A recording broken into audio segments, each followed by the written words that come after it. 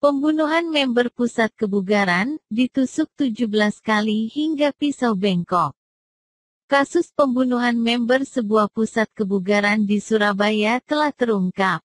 Pelaku pembunuhan yang merupakan personal trainer telah tertangkap. Korban yang bernama Fardi Chandra, 46, warga Gembong Sawah tewas setelah ditusuk oleh Eren, 38, warga Jalan Kapas Gading Madia. Duku Setro, Tambak Sari. Pelaku menusuk korban sebanyak 17 kali dengan pisau. Bahkan pisau tersebut hingga bengkok usai digunakan menusuk. Pelaku nekat melakukan aksinya karena sering dibully. Tersangka ini dendam sejak lama, sejak satu tahun yang lalu. Tersangka berusaha bicara baik-baik namun tidak diindahkan oleh korban yang terus membuli. Makanya tersangka mempunyai rencana melakukan pembunuhan. Jadi dia, tersangka, akan menghabisi karena dendam kesumat.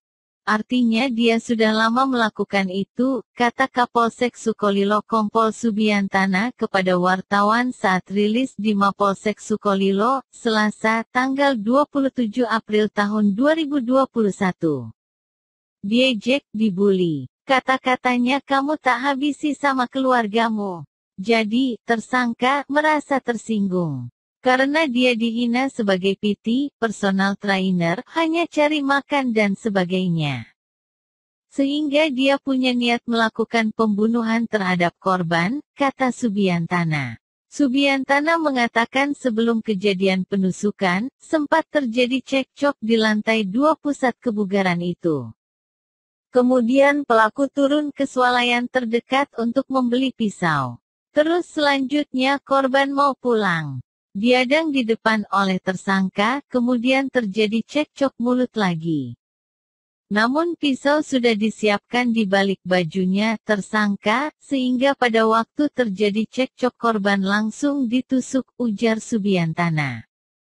Dari hasil visum luar, korban mengalami belasan luka tusukan di sejumlah tubuhnya. Sedangkan barang bukti pisau terlihat bengkok dan ada bekas darah. Dari hasil pemeriksaan visum luar kemarin, ada 17 tusukan yaitu di antara leher, punggung, perut, paha kiri, dada. Sehingga korban kehabisan darah, sehingga langsung kita lakukan evakuasi ke rumah sakit dilakukan pertolongan pertama. Terus korban meninggal dunia, lanjut Subiantana. Polisi mengamankan sejumlah barang bukti yakni satu pisau yang sudah bengkok yang dijadikan sarana pelaku menghabisi korban, sepatu, kacamata, handuk berlumuran darah, flash disk, rekaman CCTV, serta pakaian milik korban. Pasal yang digunakan adalah pasal 340, 338, 351 ayat 3 dan ancaman hukumannya adalah 20 tahun, terus 15 tahun.